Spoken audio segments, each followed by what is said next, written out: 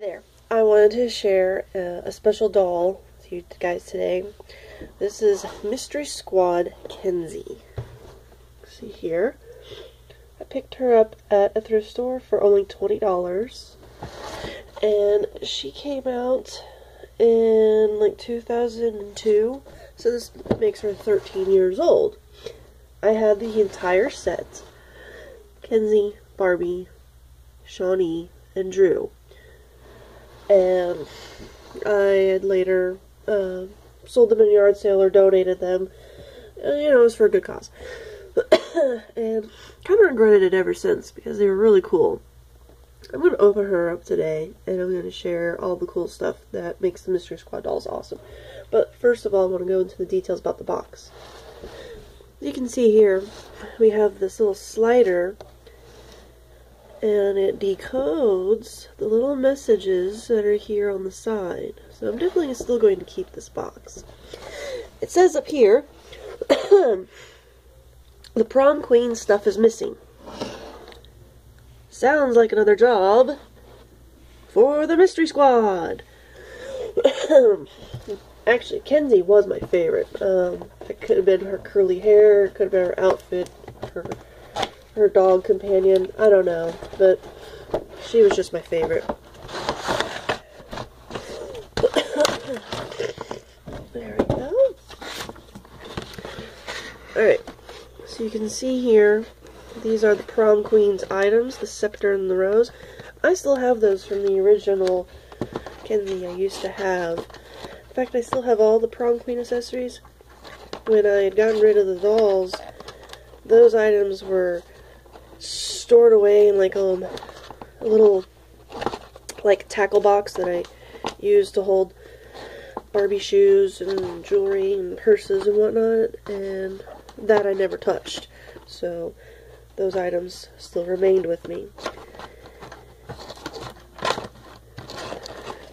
Now, Kenzie is actually the cousin of Midge, which is Barbie's redheaded friend and Shawnee is the cousin of Christie, who's the African American friend, and Drew is the cousin of Teresa, the brunette friend. I went and did a little research on them recently because I'd been feeling nostalgic and started kind of trolling, you know, eBay and things like that. But it wasn't until uh, right after Thanksgiving that my fiance and I we went to a little uh, antique mall that we'd always driven past but never gotten into and we'd always been curious about it. Oh my god. Okay, first of all, the place seems to go on and on forever. There are so many tiny rooms within the place. And they had so much cool stuff. There's definitely one room in particular that I like.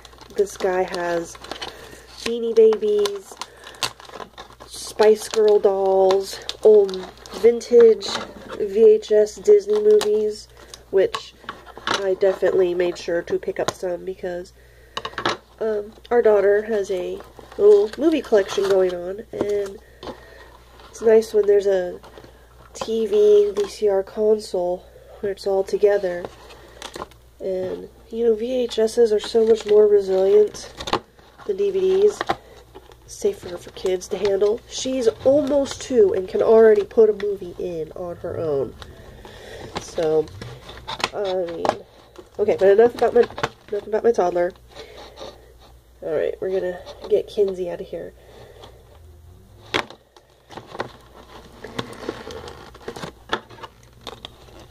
Now, because of her mass of curly hair, they actually put her hair in a, a net, like what the cafeteria wear, ladies wear. So hold on, I have to first of all cut the thread holding her sunglasses on her head.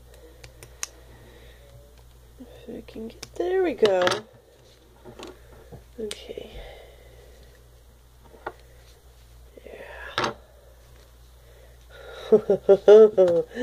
this is like Princess Merida hair right here. It definitely needs to be a little fluffed out. Man, this brings me back. I graduated in 2002. And yeah, so if I was still collecting Barbies? The Generation Girls and the Mystery Squad ones were the coolest at the time. Far more details, uh, more ethnicities, uh, better face molds, flexible bodies, you name it. Alright. So here we have a little thread that is just being stubborn. There we go. Let's see if I can... There we are. Isn't she beautiful? And she comes with a choker. That does not come off. Alright. So. We have the articulated at the elbow and the shoulder, but not the wrist. Newer dolls have that, these don't. They still have the snap joint knees. But check out this flip phone. People don't even have those anymore. They're all touch screens now. So you can definitely see how dated this doll is. I love her red jacket and her colorful tank top here has multiple stripes of color. And she has a beautiful denim skirt, long length. Little heart with wings decal. Knee-high fishnets. White platform boots.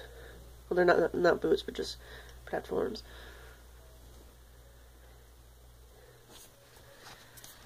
Now, the great thing about the Mystery Squad dolls is that they came with a backpack. And each backpack has something different about it, which is part of their talent in the squad. She is the surveillance specialist, and her backpack, hers is the only one that has this that goes around the waist because she uses it to rappel down. Yeah. Everybody else's backpack has um, another item, like Barbie's is the night vision goggles, and so you push a little button on the backpack and the night vision goggles glow. She's also got this digital camera here, where she takes a picture of the rose. And that can flip up. And she has a dog. Now her dog, come on, I know it lights up. Ugh. I gotta have batteries in them. That little light is supposed to light up. It's a little red light. Her signal all clear to rappel down. And a little bone for the dog. The dog is never given a name, so you can name him whatever you want. And all the other dolls come with the standard stuff here. Uh, decoder shades for messages. We have a map of the school because the prom queen's items go missing. Everything's for her damn dress, you know.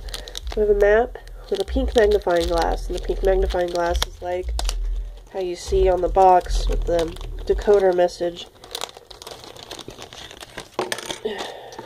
So,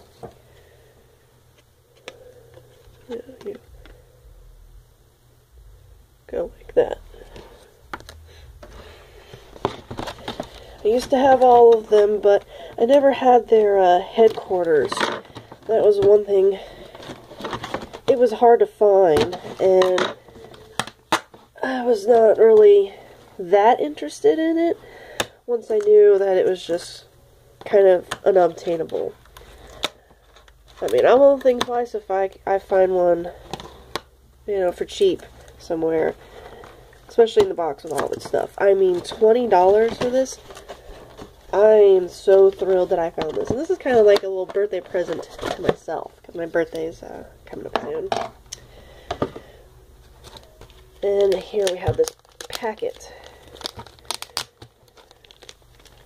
That comes with some items that you put together.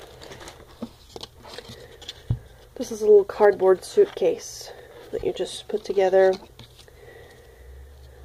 A flip on how to train your dog to sniff for clues. This is Kenzie's ID card. This is also what you can use the magnifying glass for. says use your red magnifying glass to sniff out clues, and then there was a code. You can go online, blah blah blah. And the booklet, which talks about all the characters Shawnee, Kenzie, Drew, Barbie. Barbie, for once, not wearing pink. I like that. Was Drew that was in pink. And then there's the picture of their little squad uh, secret headquarters, which pretty much was like a fruit juice bar. She's the first one that I have recollected. I'm going to get the rest. I've actually seen a Barbie one at uh, another thrift store. I just haven't been able to uh, find out how much she is because she's kind of like behind a fence. It's in a closed up unit, so I have to talk to uh, whoever runs the place. You can see here she's got highlights in this um, hair of hers. So she's got a few blonde highlights with this, you know, honey gold hair, which is, you know, it's supposed to be red. And um, kind of like turquoise eyes. Not quite green, not quite blue. She really is beautiful. I love her. And thank you so much for watching me open this.